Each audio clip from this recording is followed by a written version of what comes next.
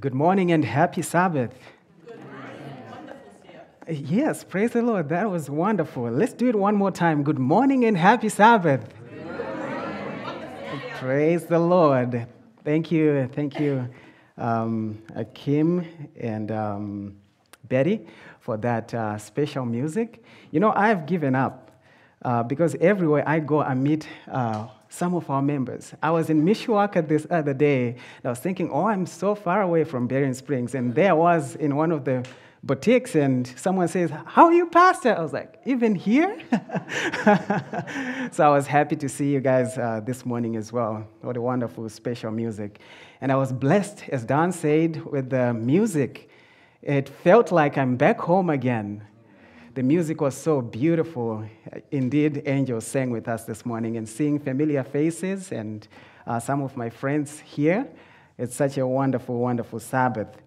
And as Don said, I was thinking usually uh, speakers speak here for about 45 minutes to an hour, and back home it's an introduction to a three hour presentation. So he said, he said, let the Spirit speak. So, no, we're not going to do that this morning. Uh, God, God is going to lead, and in, in a short space of time, God can bring his message home.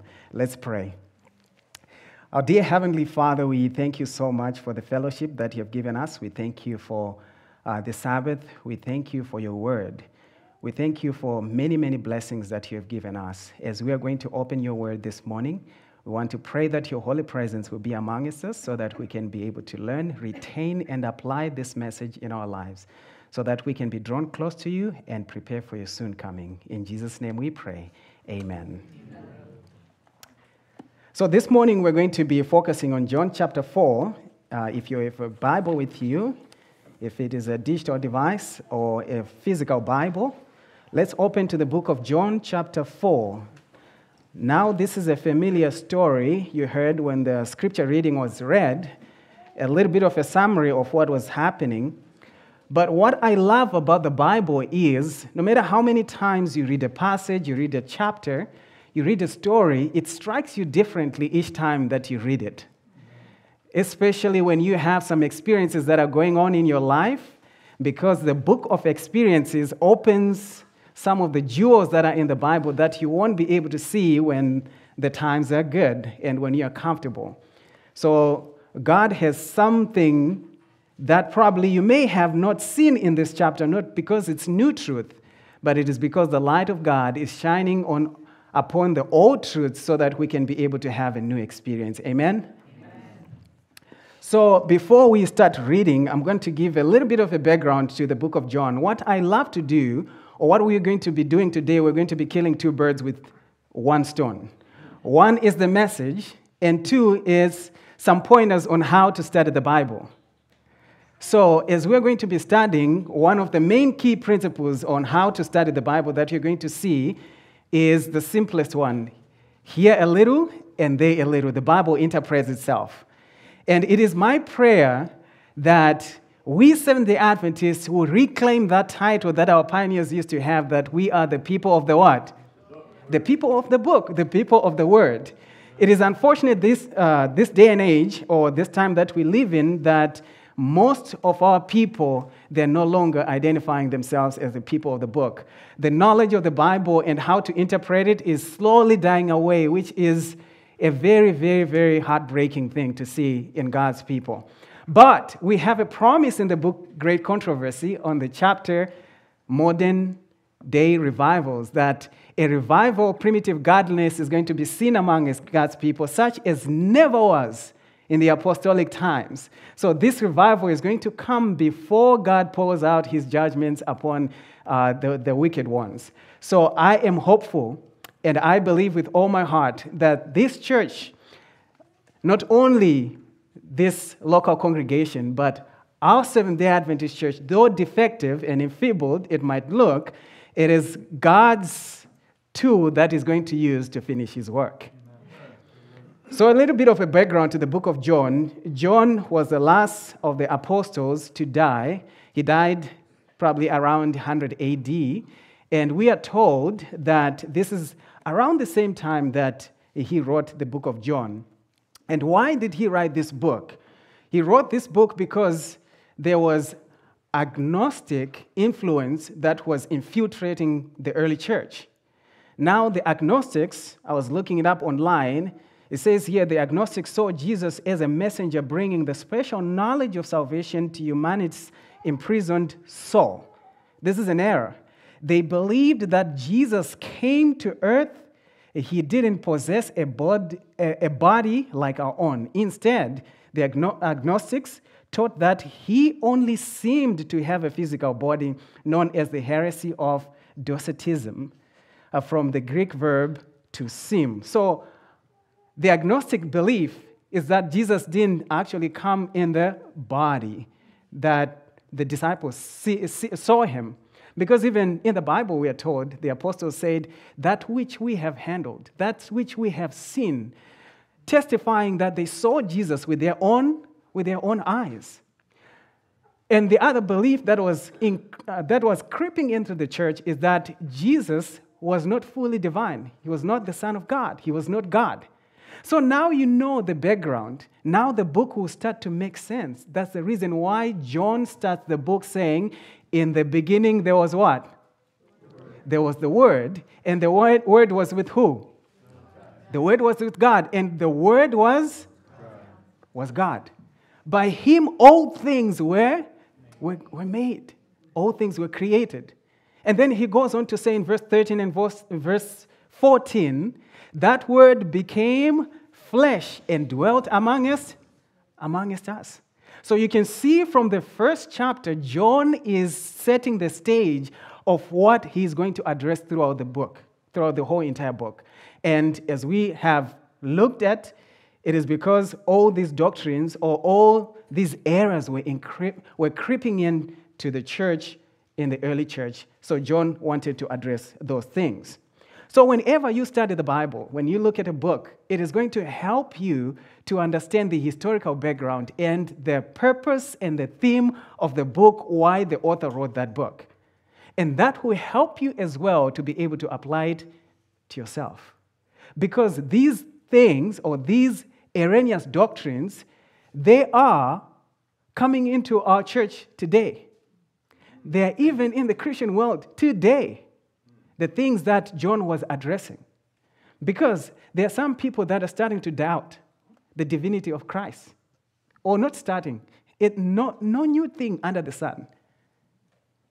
There are people who don't understand how Jesus was divine and how Jesus was human at the same time.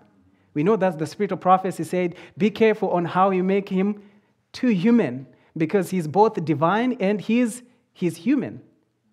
So I want you to see how dangerous these errors were. Because you remember in Hebrews chapter 4, what does Paul say? We have a high priest who is touched with our grief. And he went through the same things that we go through here, and he overcame. So if you're an agnostic, and you say Jesus Christ didn't come in the body, in the human body, of course, there's a lot of study that we can do to see about the nature of Christ. But let's scratch on the surface here. If you are to have an agnostic belief, then Jesus would not relate to you because he seemed to have a human body.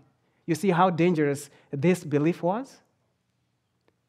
Jesus cannot be your savior because he seemed to have a body. He does not even understand the things that we go through. So that's why John wanted to address this issue. Let's go to, to the fourth chapter of the book of John.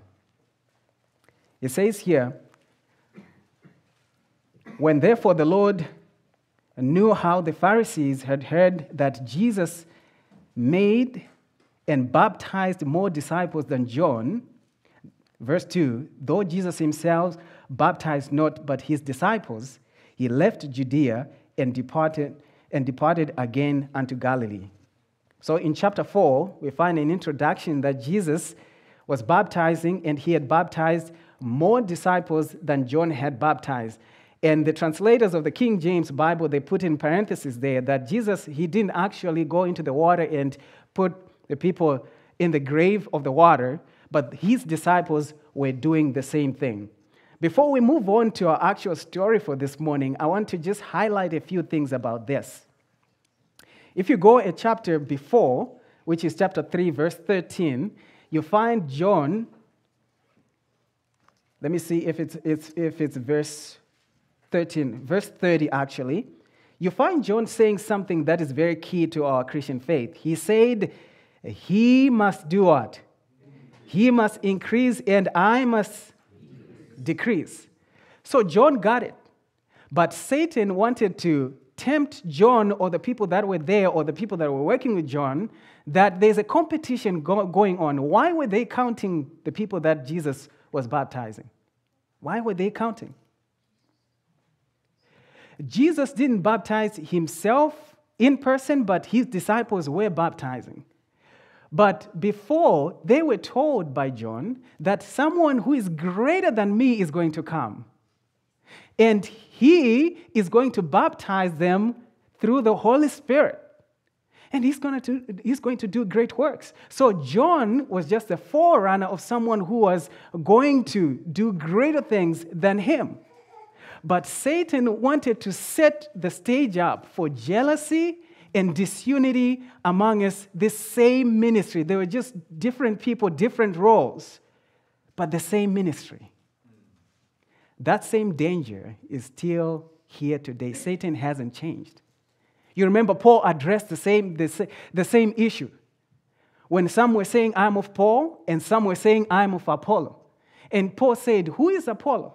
Who is Paul? We're just servants. Someone planted and someone watered, and they, the harvest is of the Lord. So, my friend, today, this morning, if you are beginning to brew the spirit of jealousy in your heart because sister so and so has a gift and a talent in this area, why is not all the glory being given to me? Then there's a problem. Because the glory is not supposed to go to sister so and so and brother so and so. The glory is supposed to go to who? To God. Why did Jesus baptize more people than John? Because it is the same work, and all the increase goes to goes to God. I love the parenthesis that was put by, by the translators. It says, though Jesus himself baptized not but his, but his disciples. You know, it's a beautiful thing that every good thing that we do, every success that we get, it is attributed to Jesus if we are on the right path. Everything that you do. As a Christian, as a son and a daughter of God, everything that you do, when there is success and it's done by the right spirit, Jesus is glorified.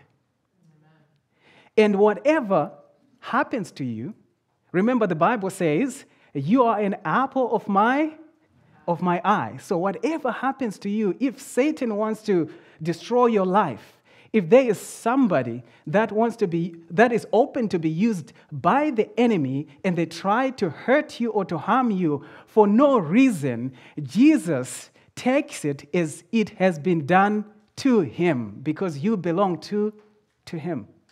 You remember when he said, Whoever does all these things to these little ones, he has done it to me.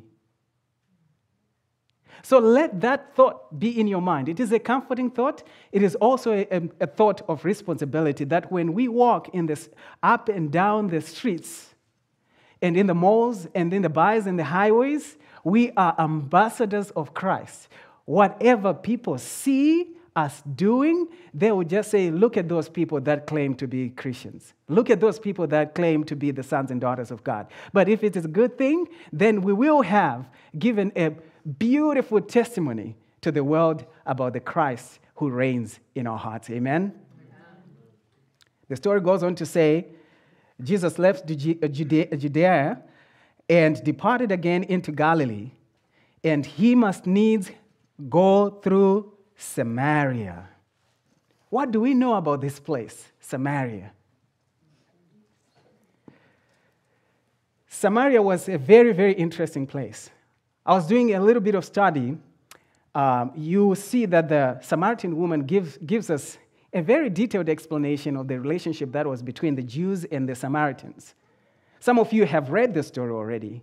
You know already. You have done this study already. But as I was digging in, I learned that geographically, Judea was to the south, and Samaria was in the middle, and Galilee was to the north. But because of the tensions that were between the Samaritans and the Jews, there were Jews that would rather choose a longer route and avoid Samaria when they were going to Galilee. But this route that Jesus took was the shortest route that every Jew could have used. Because Jesus didn't mind going through Samaria. And the verse actually is more specific. The, vo- the verse says Jesus must needs go through Samaria. And if you take a look at the life of Jesus, every single thing that he did, every single place that he visited, every single deed that he did, it was to fulfill that which was written in the prophecies. Of course, we don't have a single prophecy that is very direct and very clear in the Bible that Jesus was supposed to go through, through, through Samaria and do some deeds as it was prophesied. But you're going to see that there were some significant things that we glean from the Old Testament that makes this place unique and very interesting. Let's read on verse 4 or verse 5. Then cometh he to a city of Samaria, which is called, what was the name? Uh, let me hear your voices. What was the name? Sychar. Near to the parcel of ground that Jacob gave to his son who? To his son Joseph. So, one other thing that I would like to share with you when you're studying the Bible is to find the definitions of the names, whether it's people's names, it will give you an insight in the message that that person was supposed to carry, or the message or the things that were related to the story that are pertaining to that particular place. So, Sychar means drunken, hilarious, deeply drunk, madness, falsehood, deceit, deception, disappointment, foolish, impious, ungodly. So, this is what the, the, the name of this town means ungodly, confused, drunken. This shows you the condition of this city. It kind of reminds us of Babylon and all the wine that all these nations are going to be drunk with. So, how is it that these people had named that city drunken? Or you might think probably it was the Jews that named it that way. We don't have, we don't have clear explanation. But you know, as I was thinking, these people had accepted this name, Sychar, and started using it and identifying with it. You know, you can be so engrossed in sin that it ceases to be sinful in your heart. And you start identifying with sin. Have you ever met people who say, I have a bad temper, my temper, and they don't see a way out? They identify with sin as one of their character traits. I just hate I don't know. I cannot help it. This is just me. No, it's not you. God did not design you that way. I'm just jealous. No, it's not you. The worst thing that can happen in your life is to think that you have no way out and you start identifying with sin. Your identity is not rooted and grounded in any of the things that God despises. Your identity is in Jesus. If you start feeling or sensing or recognizing that you are in deep sin, that you feel like you have no way out, cry like what, what Peter did Lord, save me. Lord, save me. And the other thing that I was thinking is Jesus must needs go through Samaria. And he said, I have set you an example. And you and me are to do exactly as Jesus did. You know, there are places and people that are avoided by other people because of their bad character. Like, I will never step my foot at sister or brother so and so's house because them and I, we don't get along. Why? You might have the right reason. They compromise, they don't speak well of people, you want to avoid them. That might seem like a very noble reason in your mind, but Jesus went through Samaria. He went through Samaria. I'm not saying go in places where it's going to be dangerous for you to be. If there is abuse and violence, for sure avoid those places. But if it's just character, you must ask God to go ahead of you so that he can prepare a way because he know he knows because he was with the Samaritan woman and you can see that throughout the whole story Jesus Jesus does some incredible evangelism. And he brings out those evangelism tactics that we can be able to use with those that don't believe or that are prejudiced. you must go through Samaria, and he's at Sychar. This place, the Bible tells us it was near to the parcel of ground that Jacob gave to his son Joseph. I'm going to I'm to dwell there a little bit more this, this, uh, this ground that was given to Joseph. It is very significant to this story because we're going to see that the Samaritan woman was stuck with the history and all the things that had happened in the past to an extent that she was neglecting the work that needed to be done in her heart. This same place, this same place, if we turn into our Bibles to the book of Genesis, chapter 33, verse 19 to 20. Let's go there. Verse 19 to 20. The book of Genesis, chapter 33, verse 19.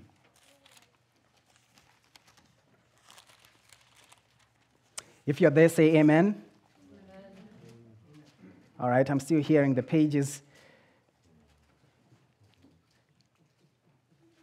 All right, Genesis chapter 33, verse 19 to verse 20.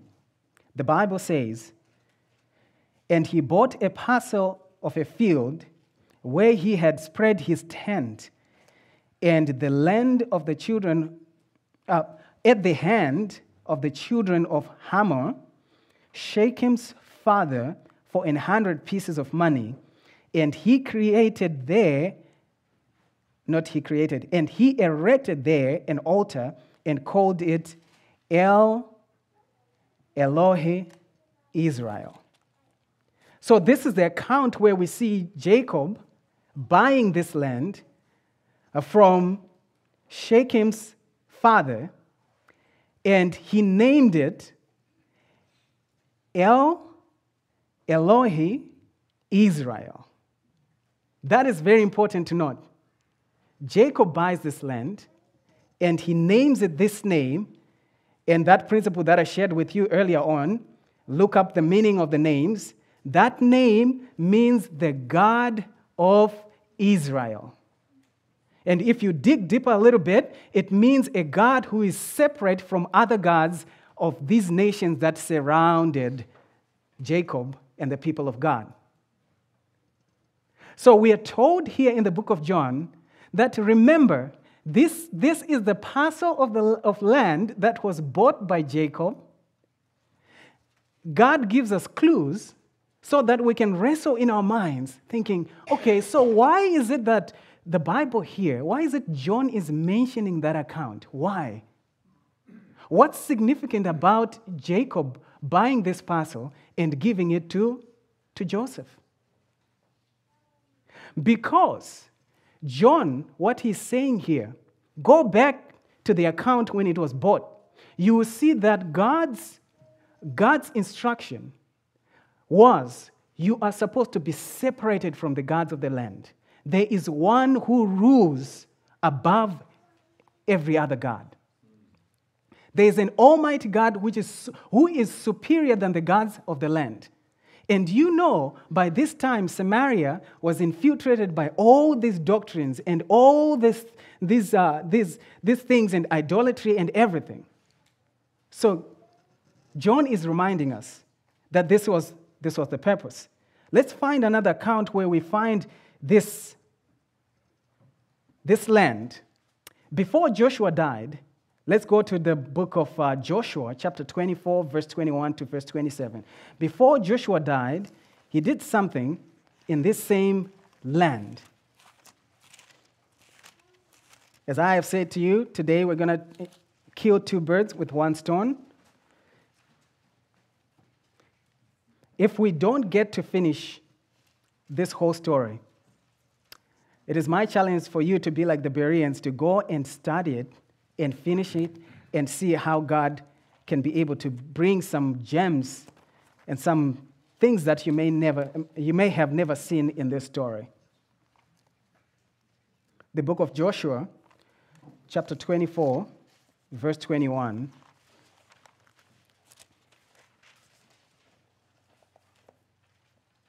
All right, I'm going to read verse 1 first before we read all these verses. So we have heard that from, from the book of Genesis that Jacob got this land from Shechem's father. So now we're going to hear more about this land. It says here in verse 1 And Joshua gathered all the tribes of Israel to Shechem and called the elders of Israel, and for their heads, and for their judges, and for their officers, and they presented themselves before God. And we go to verse 21. So he had gathered the elders of Israel there. Joshua was about to die, and he was reminding them of the history of the journey from Egypt to where they were now. And he goes to verse 21 and says, And the people said unto Joshua, Nay, but we will serve, we will serve the Lord. And Joshua said unto the people, Ye are witnesses against yourself that he have chosen you, the Lord, to serve him. And they said, We are witnesses. Now therefore put away, said he, the strange gods which are among you, and incline your heart unto, unto the Lord God of Israel. And if you go to the, to the end of the chapter, verse 32, it says here, And the bones of Joseph, which the children of Israel brought out of Egypt, buried they in, in Shechem, and in that parcel of ground which Jacob bought of the sons of Hamor, the father of Shechem, for an hundred pieces of silver, and it became and it became the inheritance of the children of, Je- of Joseph. So you see the connection here. This same land is the, the, the land that Joshua brings the elders of Israel and he makes a covenant with them. And there in that land, that was the first place where the sanctuary of God was. The sanctuary of God stayed in Shechem for a while, and then it was moved to Shiloh. Then it was moved by David uh, to Jerusalem.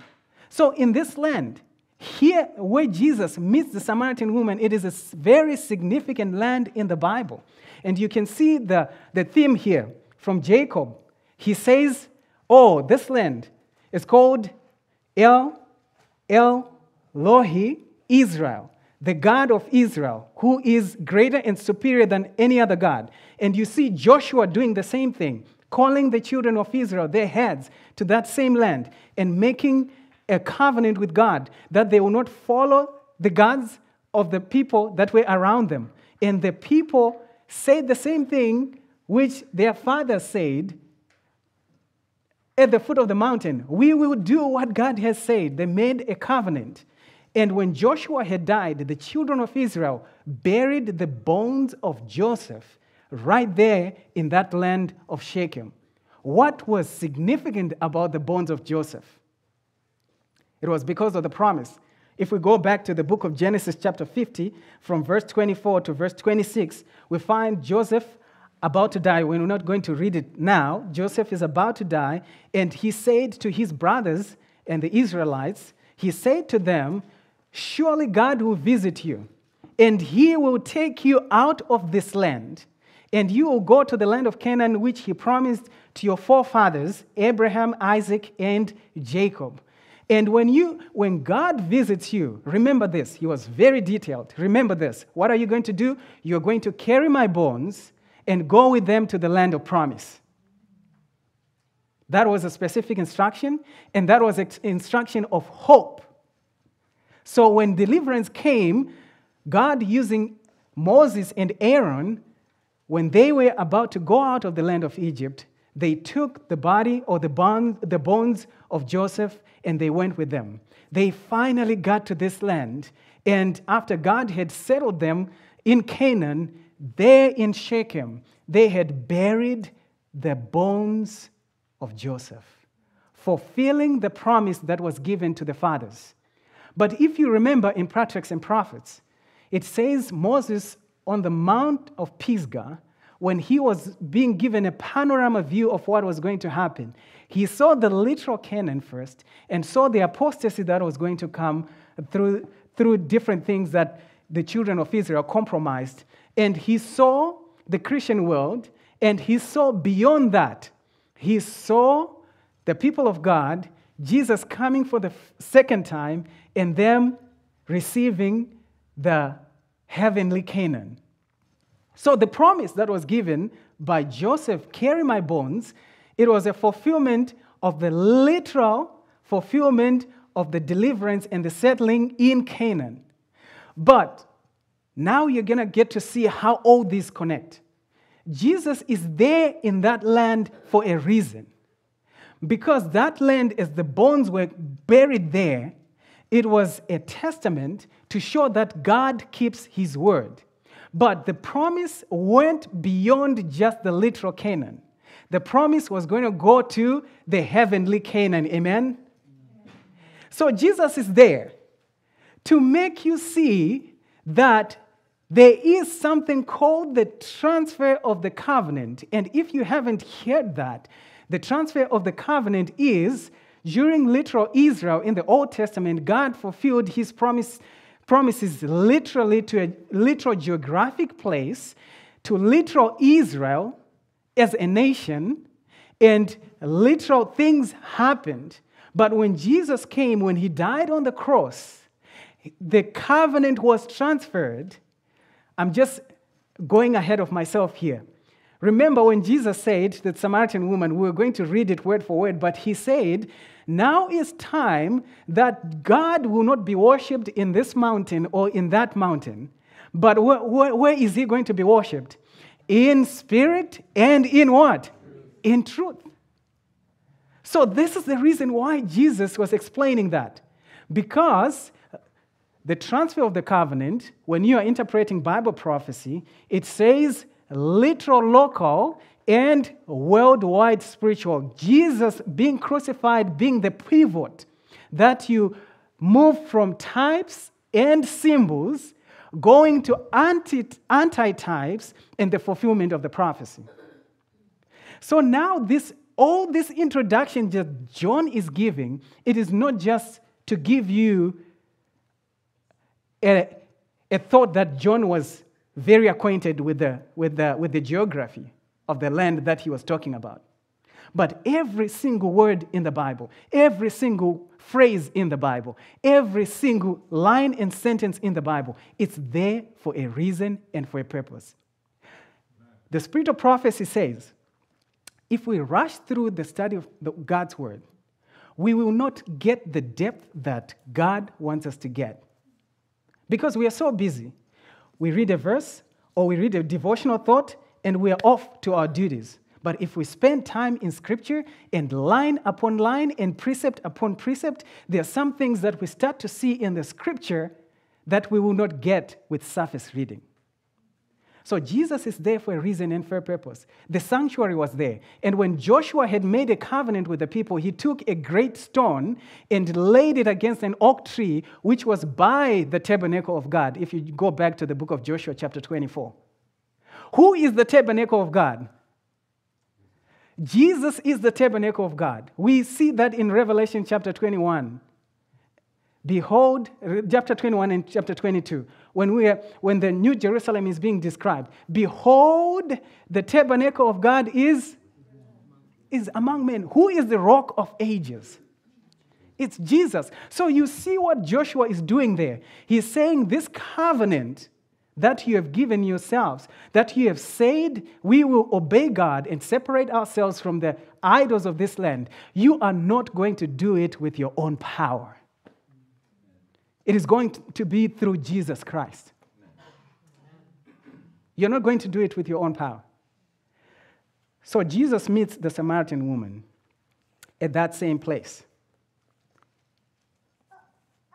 And he says here in the Bible, verse 7, John chapter 4, verse 7. But before we go to verse 7, verse 6, now Jacob's well was there. Jesus, therefore, being wearied with his journey, sat thus on the well, and it was about the sixth hour. We're not going to go into detail on this verse, but there's quite a lot that you can glean in, that we can glean from from that verse.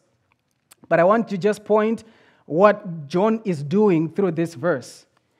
He is saying Jesus got tired, which is something that we as human beings go through. So if it was, if the Gnostics were true, then Jesus couldn't have gotten tired because he didn't have this, the, the body that, that we have. He could not relate to us. And if you read on the story, it says, Jesus said, Can I have some water from the Samaritan woman? And the Samaritan woman, I love this. Let me read it. Let me read it. Verse 7 There cometh the woman of Samaria to draw the water. Jesus said unto her, Give me to drink, which means that Jesus was limited. He could have just said, Water, come out, and I need to drink. For this for his disciples were gone away unto the city to buy meat. Verse 9 Then said the woman of Samaria unto him, How is it that thou, being a Jew, askest drink of me, which am a woman of Samaria? For the Jews have no dealings with the Samaritans. Verse 10 And Jesus answered and said unto her, If thou knewest the gift of God, and who it is that saith, to thee, Give me drink, thou wouldst have asked of him, and he would have given thee living water. Verse 11 The woman said unto him, Sir, thou hast nothing to draw with, and the well is deep. From whence then hast thou that living water? So look at what John is doing here. He's saying, I have told you that Jesus got tired. I have told you all these things about Jesus. But there is another person that is an eyewitness from Samaria who actually recognized that Jesus didn't have something to draw the water. And she testified to that fact that he was a real person. He couldn't have gotten the water because he didn't have something to draw with. There was an eyewitness, someone beyond his disciples right there. And she testified that Jesus was had human limitations. Of course, Jesus was traveling and he had gotten tired, and it was the heat of the day, and he was thirsty.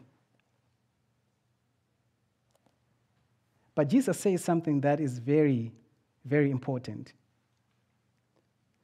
The Samaritan woman had put ahead of her or in front of her the barrier that was always there that the Jews and the Samaritans had no dealings. Why was Jesus asking him for a favor? If you go to the book Desire of Ages, it says the act that the disciples had done to go and buy some food was permissible because there were some things that they could do, but asking a favor between these two groups was considered a no no. So the Samaritan woman is reminding Jesus that, hey, what you're about to do, this is not supposed to happen because of the tensions that we have between the two groups. It is not. You know, it's unfortunate that in the church, we might think that probably we are far removed from this kind of setting between the Samaritans and the Jews. But we have it in our church in different forms. There is the conservatives, there is the liberals. I hate to use these words, but if you go in these circles, you hear talk about the other group. You hear it.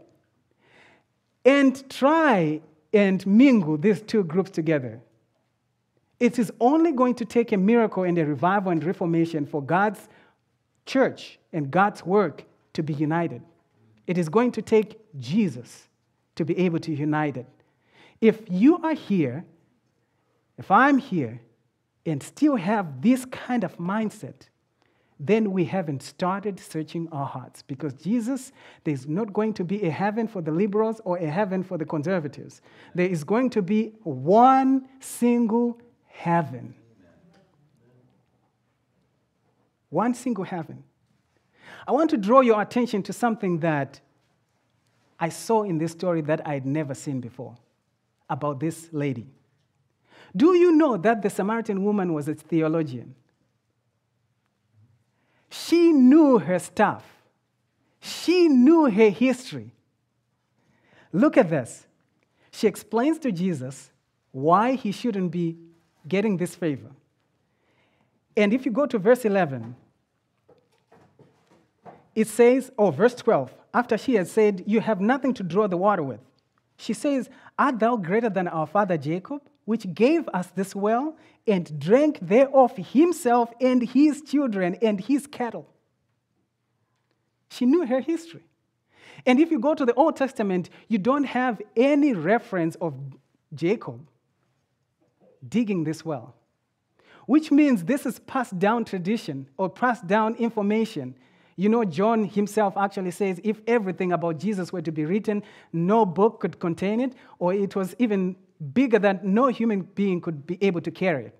So there are some pieces of history that were passed down through oral tradition that we don't have in the Bible. But you see glimpses of them especially in the book of Hebrews, chapter 11, you see some of the things that Paul talks about, that he adds more information of things that we don't see in the Old Testament.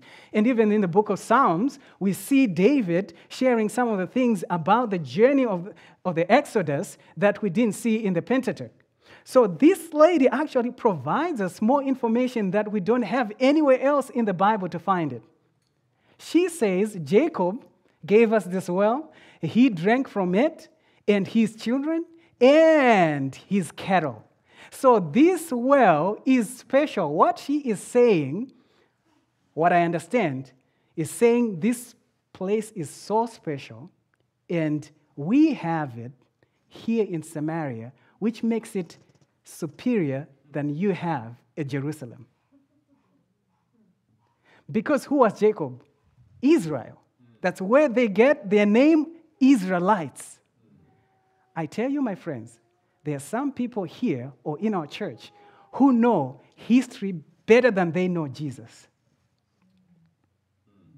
Who know church history so much. Do you know when we put these pews? Do you know when we dug the foundation of this church? Do you know this area had a single church? We evangelized this place. We planted this church. The Samaritan woman could do the same thing. She could do it. She knew Jacob, she knew the fathers. This was said by our pioneers. If you stop there, it is not going to be the full circle of salvation. This woman was a theologian. Look at this. She goes on to say, the woman answered, say, I have no husband. But uh, let me see. Before, before, she, before she said that, before she said that, Jesus answered and said unto her, Whosoever drinketh of this water, this water that you're saying, it is so precious because it is from Jacob. You have that Bible that was handed down from your great, great, great, great parent. That was at an evangelistic series that saw Ellen White in a vision. You have that Bible somewhere. But that Bible, if the words that are closed in that Bible don't make a difference in your life, it doesn't mean anything. All that history that you have, if they don't, that does not lead to a transformed life, it means nothing. Let's read on. Jesus answered and said unto her, Whosoever drinketh of this water shall thirst again. Jesus, I love Jesus. Because here, he doesn't go outright rebuking the lady, he just increases her interest. Although he could have shut the conversation, he could have just said, Hey, you have said it right. I am greater than Jacob. And this is nothing. I am the one who gave Jacob. I wrestled with Jacob before he was converted. I am the one who created the water that came out of Jacob's well. He could have said that. But Jesus is very patient. Learn evangelism skills from Jesus. Very, very patient. Whosoever drinketh of this water shall thirst, shall thirst again. The things that you have held held on to, they're, going to, they're not going to bring true satisfaction. The things of this world are not going to bring true satisfaction in your heart. The houses, the cars, all the properties that you have, you will thirst again. That's why we have billionaires that keep on making more billions on top of billions to make you see that these things they don't bring satisfaction. If you drink of this water, that you're just seeing the works of the outside, the, the outside works of people that have come before you, you will thirst again. But whosoever drinketh of the water that I shall give him shall never thirst again. Praise the Lord. But the water that I shall give him shall be in him a well of water springing unto into everlasting, everlasting life. Praise the Lord. The water that Jesus gives you, even if you have nothing on this planet Earth, you're going to be the happiest person. And that water, when you have been satisfied, you become a fountain of, of living water. Fountain of living water. Because what's going to happen in your life, you cannot contain it. If you still see yourself being selfish and wanting everything for yourself, to you, and by you, then there's a problem. You should seek the living water. Because when you drink that water, you cannot contain it. We, we see the effects of the water. When the Samaritan woman got the water, what did she do? She couldn't contain it. She just left the, the, the, the pitcher there and she ran. She didn't even ask for instructions to him. What am I going to do? What am I going to say to them? No, she was, she was so excited. She left and she ran. So if you're still seeing yourself being selfish, something needs to happen. You haven't drank the water of life. Or probably you have drank it before, but you have deviated from it, and probably you have backslidden. But Jesus wants to give you this water. And it's not only springing into others, it springs into everlasting what? Into everlasting life. Jesus wants to give you everlasting life. Will you let him this afternoon, this morning? Jesus wants to give you that peace, that inner peace, that you will drink from the fountain of life from Him that will give you peace and happiness and joy. All the things that are troubling you in your heart today, all that anger that is in your heart that you cannot forgive people, God wants to take it away from you and give you satisfaction. Ministry of Healing, chapter Mind Cure, the opening paragraph says the pen of inspiration, the relationship that exists between the mind and the body is very intimate. When one is affected, the other sympathizes. There are many who are sick and don't know the cause because it's coming from here, because there is no inner peace.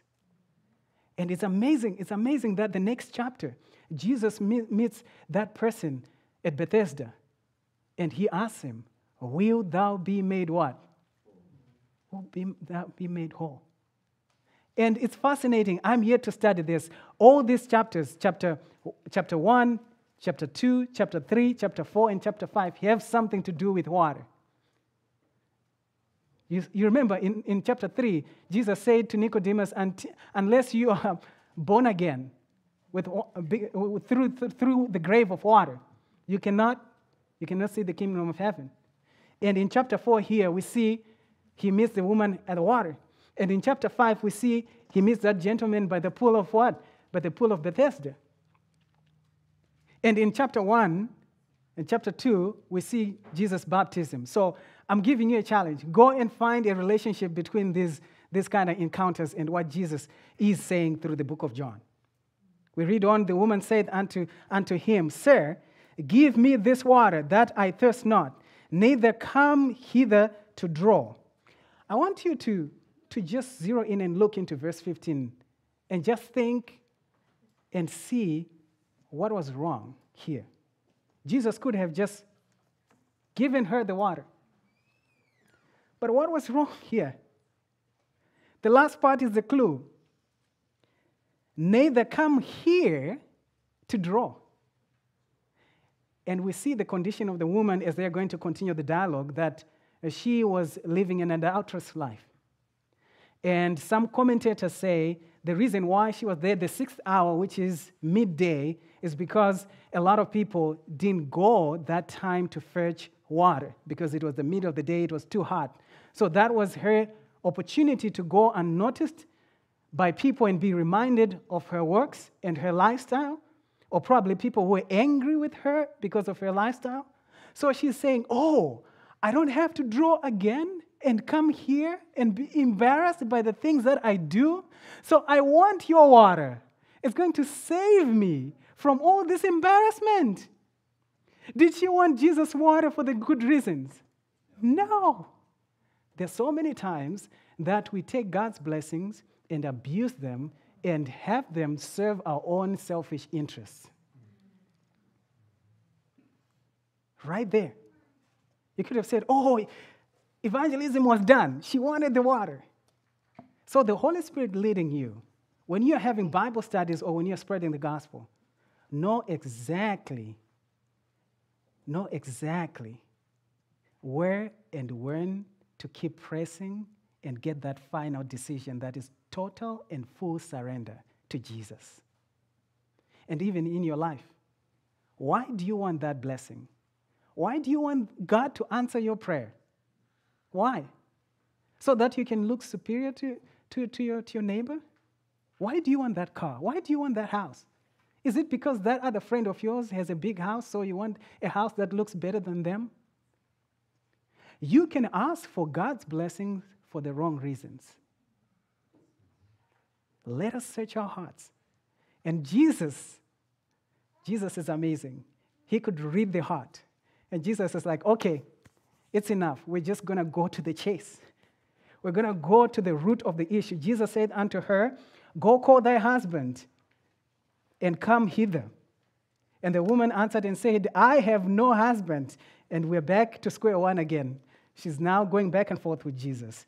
Jesus said unto her, Jesus is not wasting time at this point. Thou hast well said, I have no husband, for thou hast five husbands, and he whom thou now hast is not thine husband. In that saidst thou the, the truth. Jesus didn't go into a sharp argument, iron sharpening iron with her. He said, You have said well, you don't have a husband. Because all these people, you have just, all this life, you've just been living in an adulterous life. And the woman said unto him, Sir, I perceive that thou art a prophet. Our fathers worshipped in this mountain, and he said that in Jerusalem. Look, there, there are the contentions between the two groups. Is the place where men ought to worship. Have you ever, have you ever been in a discussion with someone and they see exactly that you are right. And then they bring another issue. You know that other time you did this. like, let's, let's finish this one first. Right? Let's finish this one first. They keep go- going in rabbit holes. But you know, Jesus is a master on helping you how to navigate those waters. The woman did the, sa- the same thing. You know, Satan doesn't give up easily. She's convicted right there, and Satan dishes her another reason for not being converted and not taking heed of Jesus' word. He will keep on doing that even today. There's no new thing under the sun. And Jesus said unto the woman, Believe me, the hour cometh when he shall neither in this mountain nor yet at Jerusalem worship the Father. You worship what you know not. We know what we worship, for salvation is of the Jews. I don't think we have enough time to dig deeper into what Jesus said here. But what Jesus was saying, you find it in the book Desire of Ages. It says, on this mountain that the woman was referring to, they had built a sanctuary there before, in that mountain. That sanctuary had been destroyed by other nations because of their apostasy. And they kept on hanging to that mountain. But we know for sure that where God had chosen to be worshipped was through the sanctuary that was at Jerusalem. And that was the one that was pointing to the fulfillment of prophecies as Jesus being the Lamb of God that taketh away the sin of the world. So, Jesus, what he's saying, he said, I'm not going to let this slide. I'm just going to tell you that there can be Christians, good Christians out there, and there can be people who try you in the church, but we, the Jews, know what we worship and they don't. The fact that there's people that gives, give you a hard time in the church doesn't remove that this church has the truth of God. It does not. You may see everyone as evil as against you. And you walk out there, you find some really nice, wonderful people that will smile at you all day out there. Don't be tempted to go out of the truth of God. This church, though defective as it may be, it is God's chosen agency that is going to finish the work. Jesus made it clear. He could have said, Oh, these guys, they want to kill me. The reason why he was on that way is because those people, he actually left Judea because of the Pharisees. Why is he defending them? Why is he defending them at this point? But Jesus doesn't deviate from the truth because of his emotions. He knows the truth is the truth is the truth. No matter how I feel today, no matter how I'm going to feel tomorrow, no matter how sister and brother so and so is going to treat me, the truth is the truth is the truth. Stay in the church. God will do great and wonderful things through his people. And he said, But the hour cometh, now it is, when the true worshippers shall worship the Father in spirit and in what? In truth. For the Father speaketh such, seeketh such to worship him. God is a spirit, and they that worship him must worship him in spirit and in truth. The woman said unto him, I know the Messiah cometh, which is called Christ. One more resistant effort. The woman tries to play a card here. When he is come, he will tell us all things. In verse 26, Jesus said unto her, It was done. Jesus wasn't wasting time. I that speaketh unto thee am he. We're going to finish here. You know, that last part is very interesting. The woman said, She's convinced beyond, beyond the shadow of a doubt that Jesus was a different person. He had met all her objections. One last try, Satan, to get this woman not to, not to be converted. One last point in her pocket. No, we know the Messiah is going to come. When he is come, then I'm going to be serious about salvation. Not today. Not today. Does, does that sound like Adventists? When the Son, the Lord, is going to come, we're going to be serious about our relationship with Jesus. When the signs of the times are going to intensify, didn't you hear in the spirit of prophecy? It said the last day events are going to be rapid ones. They're still a little bit slow. Just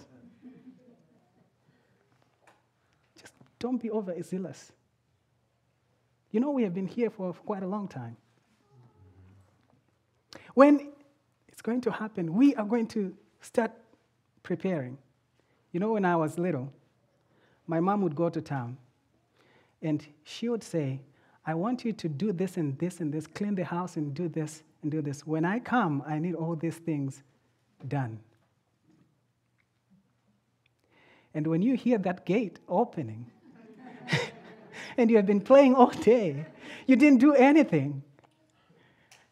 There's no miracle that you can clean a big house in three seconds. No, it's not happening.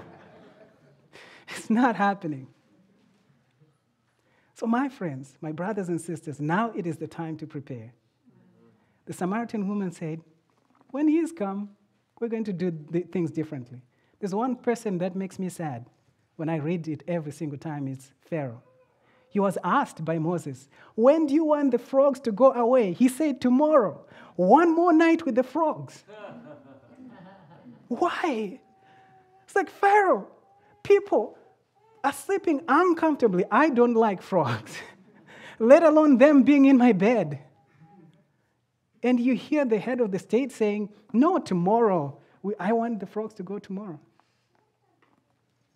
Why do you want to sleep one more night with the frogs? Jesus is right there saying, Hey, I want to transform your life today. Amen. Tomorrow is not guaranteed. I don't say this to put fear in your, in your hearts so that you can accept Jesus because something might happen tomorrow. No. You may live to 100 years, but probably today is one of your incredible chances that can give you a wonderful advantage in this life when you follow Jesus. You're not supposed to be scared into salvation. You're supposed to go into salvation because the love of Christ compels you.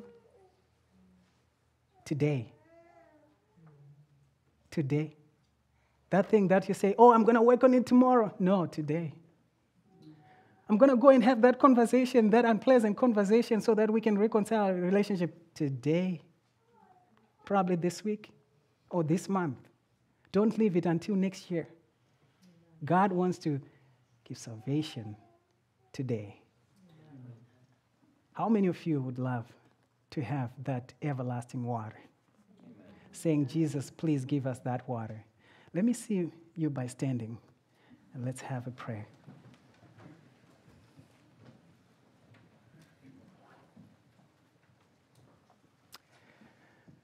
Our dear Heavenly Father, we thank you. The reason why you bring us to church every Sabbath and to prayer meetings is for us to be drawn closer to you. Today we have seen your love in this story with the Samaritan woman. And I want to pray for my brothers and sisters that have stood saying they would love to have this everlasting water and become fountains that are going to bless others and spilling this water into everlasting life.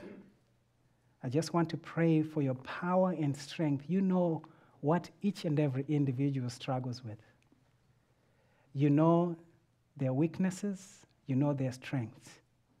And Lord, I want to pray for this church to be a beacon of light in this community. That a lot of people will see you in their lives and want to have what they have. To be like Moses when he came down from that mountain, glowing with the glory of God. So help each and every one of them. If there be anything that is troubling each one in their hearts, may you deliver them through the name and the, the blood of Jesus Christ. We pray all these things in Jesus' name. Amen. May the Lord bless the reading of His word.